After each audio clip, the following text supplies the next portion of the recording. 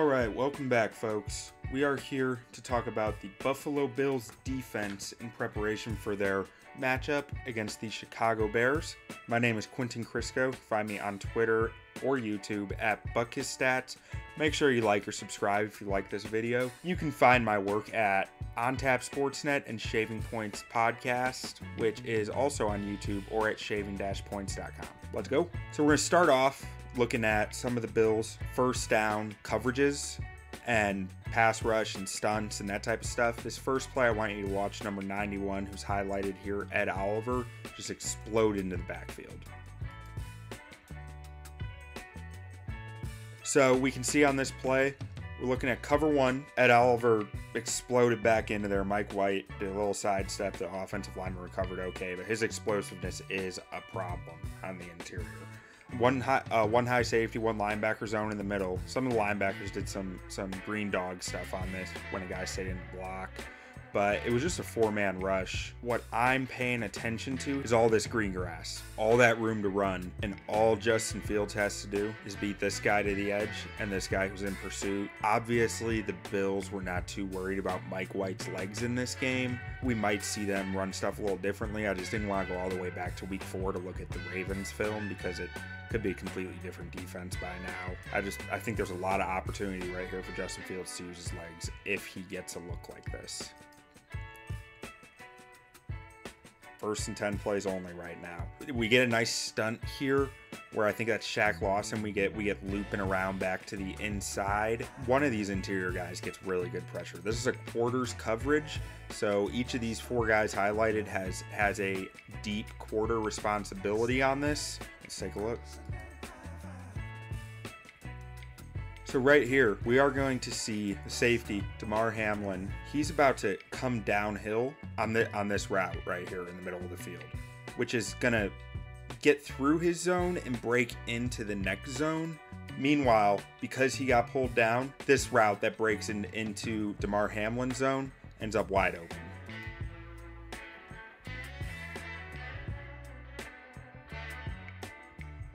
So on this look, we see a cover three defense. The back three guys have a, a, deep third.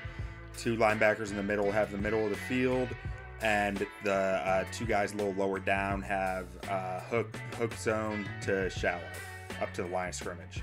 On this play, one thing that I really noticed is we got highlighted here Tremaine Edmunds.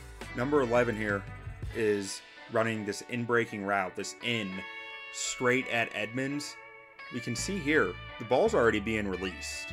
Ball's already coming out right about here, and Edmunds hasn't really broken on it yet. He's just starting to break on it. I think he's a little hesitant in some of his uh, some of his reactions to stuff right now. I also noticed it on running plays and play action. He wasn't as reactionary as I thought he would be to the play action or to runs, to, to handoffs, like actual run plays.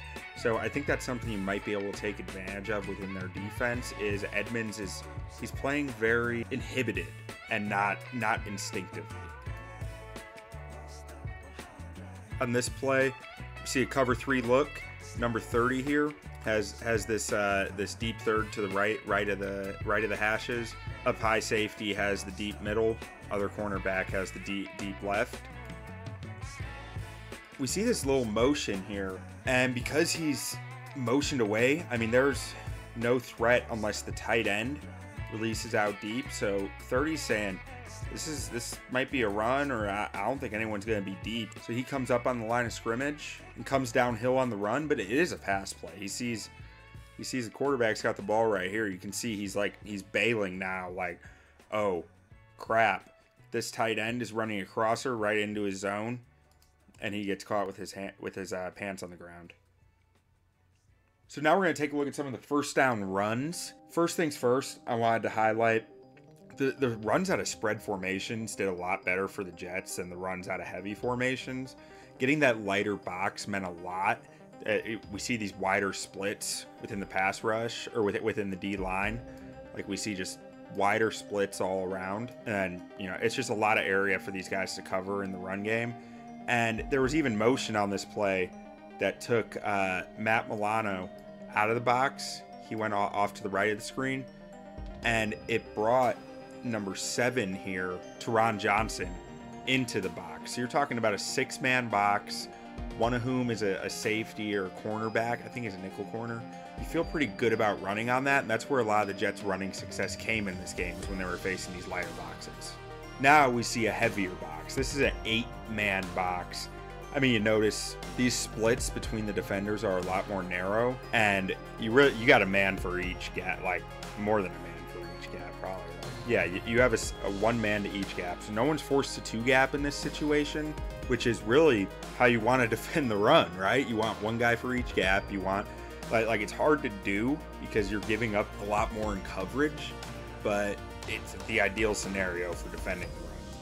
Now, I want you here on this play to watch number 92, Daquan Jones, really make a nice play here. See, just little long arm, I think. It's right in the backfield, disrupts it, can't can't close the play. But the Bills' finishing speed within their defense is excellent. Like they, they got a lot of speed out there. These guys hustle the football. They're gang tacklers. When you miss a tackle like that, but you've disrupted, you've won the play because they're gonna have three, four guys jumping on you pretty soon after. This one, again, we see a heavier box. Seven men here. The difference between six and seven is pretty big when you're the Bills. I mean, what one of these guys is, again, number seven. So a smaller player, but it's still seven guys within there. And a lot of good coverage of the run gaps. On this play, I want you to watch number 90, Shaq Lawson, and specifically how he uses his hands to stay clean. Look at that. Right into the chest of the blocker so now I'm going to take a look at some of their second and third down plays. These are all second and third and manageable. I didn't want to do anything that was out of out of reason because if you're if you're playing behind the sticks a lot against the Bills, you, have already lost. You know, there's not a lot of point to really looking at that unless you have you know Pat Mahomes maybe can do it, you, you got to stay ahead of the sticks for the most part against their defense. This one, we're, we're going to see a run play. We see a seven man box here, which I did say, you know, is a lot better than a six man box, but look at how wide some of these alignments are. Like the, the difference between the one tech here and the, uh, what is that, like a wide nine almost? I mean, that's just a massive area for Taron Johnson to have to cover. See how it works out. It's exactly where he goes. It's a nice gain. Here's the difference with this one. So it's still a seven man box, we just see a lot tighter of alignments here. And you even got these these corners helping out on the edges because of the way that the yeah, I mean you, you have more run defenders here than you have gaps. Like he can go he can go to the uh, the B gap, the A gap, the other A gap. Like you you almost have a safety here in Edmunds able to kind of pick and choose what gap he wants to play. The Jets are kind of putting themselves in this situation by going such a heavy personnel in a tight formation. They are making the Bills match that, and they know they've had success running out of more spread out formations. That's forced the Bills into lighter boxes, and they haven't really been able to stop the run. But they kept going to these tight, heavy formations and didn't have as much success with them. So here we're seeing a cover one variation with a, a, simulated pressure. We have got five guys in the line of scrimmage right now. Two edge rushers, three down linemen. And the two edge rushers are actually going to drop out into some shallow zones while everyone else, is, except for the deep safety, is in man coverage. The deep safety is just in a deep zone.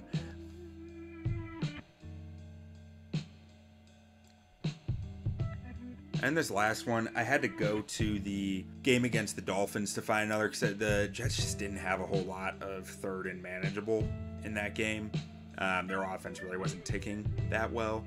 So I wanted to find find at least one from another game that I could kind of show that was successful for the offense. So third and five, and we're looking at a quarter, quarter, half coverage. I think, I believe this is Trey White. Tre'Davious White. He's got deep half, so he's basically playing man coverage against his guy on the deep half.